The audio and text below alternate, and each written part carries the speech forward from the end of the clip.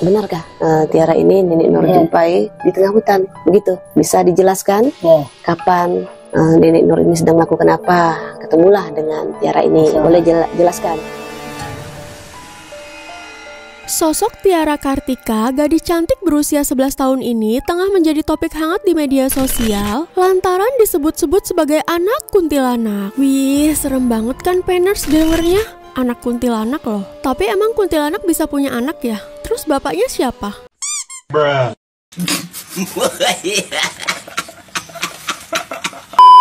Lanjut beritanya ya.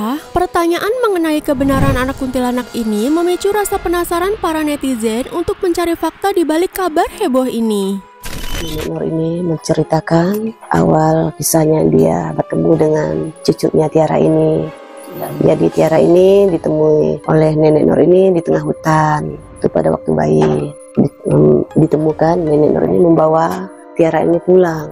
Dan sekarang Tiara ini sudah dewasa ya.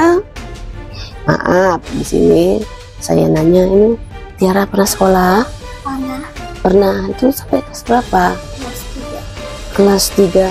kelas 3 kelas 3 SD begitu kenapa anda dilanjutkan lagi Tiara kan sayang Karena saya pernah dibully di sekolah. dibully oleh teman-teman boleh tahu itu teman-teman itu membuli Tiara itu seperti apa Dia ngejek Tiara, bilang anak kuntilanak ente kuntilanak. Bilang anak kuntilanak ente kuntilanak.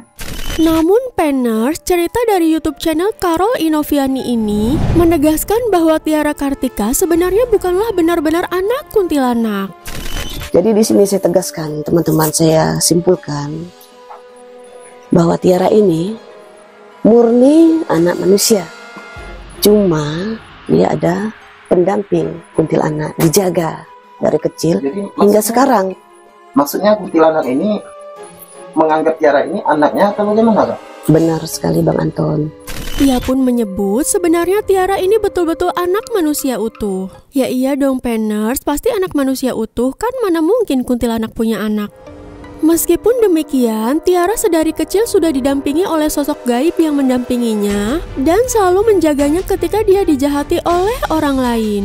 Jadi diulang lagi ya Penners, Tiara ini bukan anak kuntilanak, melainkan dia adalah anak dari manusia. Jadi di sini saya tegaskan, teman-teman saya simpulkan bahwa Tiara ini murni anak manusia. Cuma dia ada pendamping kuntilanak, dijaga dari kecil. Nah, setelah kita membahas tentang Tiara anak kuntilanak tapi ternyata bukan, sekarang kita lanjut ke konten selanjutnya ya. Sebelum lanjut ke videonya, biar Penstory rajin update tiap hari, kasih dukungan kamu dengan cara subscribe, like, dan nyalain lonceng notifikasinya. Udah, lanjut!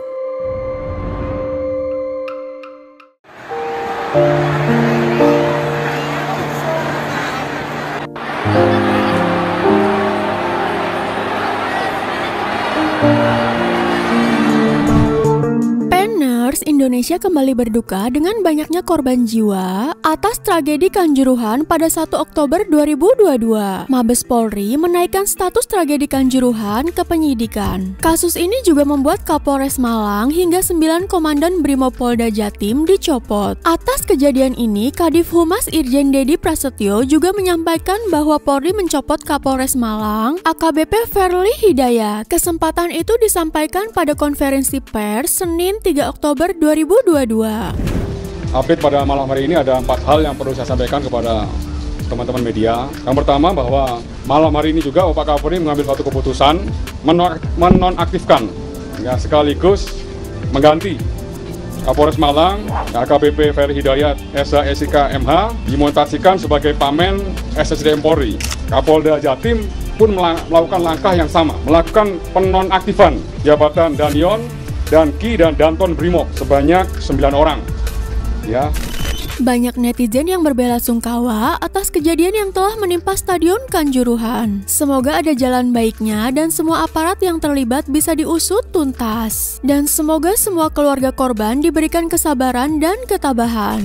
Setelah tragedi Kanjuruhan, beredar unggahan video seorang emak-emak membakar atribut Shell Arema FC viral di media sosial. Aksi emak-emak ini sukses terekam dalam unggahan video di akun TikTok at ali underscore dong 1 pada Minggu 2 Oktober 2022. Emak-emak ini juga meminta anaknya untuk tidak lagi menjadi supporter Aremania, buntu terjadinya tragedi di Stadion Kanjuruhan, Malang. Anakku, acang, wis gak usah arema-arema, nobongan iki. Wis gak usah bal-balan,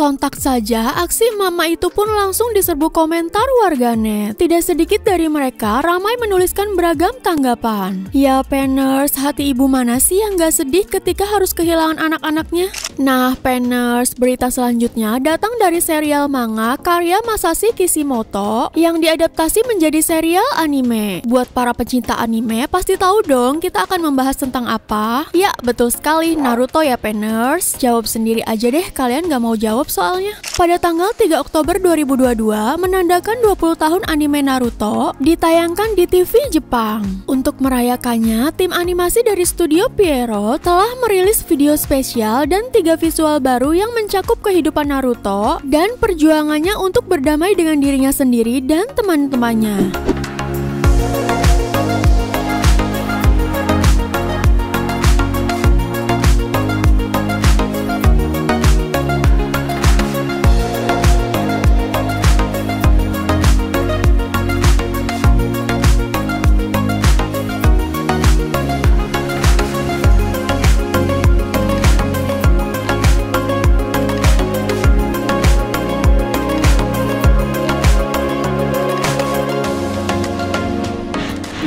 Dari laman web resminya Selasa 4 Oktober, tim animasi membuat kompilasi video ini dari adegan-adegan terkenal anime Naruto dan Naruto Shippuden dengan kualitas animasi yang lebih baik dan memuaskan bagi penggemar, diiringi dengan lagu-lagu pembuka yang tak kalah ikonik dari anime itu.